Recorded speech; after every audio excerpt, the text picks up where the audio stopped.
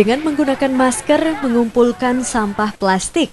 Agenda inilah yang dilakukan siswa dan remaja di Desa Pupuan Tegalalang Gianyar Bali untuk mendukung desa sehat bersih. Lebih-lebih di tengah merebaknya pandemi COVID-19. Program ini menjadi sangat penting untuk edukasi warga untuk hidup sehat, bukan sekedar untuk mematuhi protokol kesehatan seperti memakai masker, menjaga jarak, dan mencuci tangan. Selain menjauhkan warganya dari virus COVID-19, warga juga diajak untuk terhindar dari penyakit lainnya seperti sesak nafas hingga demam berdarah yang juga menjadi penyakit dampak lingkungan yang kurang terawat. Program lingkungan bersih menjadi lebih menarik saat sampah yang dikumpulkan juga dihargai dengan menukarkannya dengan beras.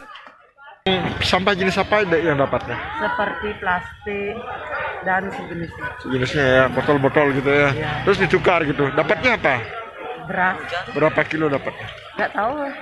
Sudah di Timang-timang gitu ya. ya, Isinya Sedangkan komunitas lingkungan clean up atau CAT Tegalalang yang juga terlibat dalam aksi ini mengatakan program tukar beras hanya dijadikan sebagai motivasi bagi warga untuk terbiasa hidup bersih.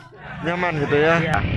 Jadi bukan eh, intinya harus eh, apa namanya eh, beras ini menjadi tujuan. Tujuan kami adalah membersihkan lingkungan. Kalau yang ini terkumpul apa saja, Pak? Yang saat ini yang terkumpul lebih banyak sampah plastik. Setidaknya lebih dari 1,5 ton sampah plastik dikumpulkan dalam bersih lingkungan di tengah pandemi COVID-19 ini.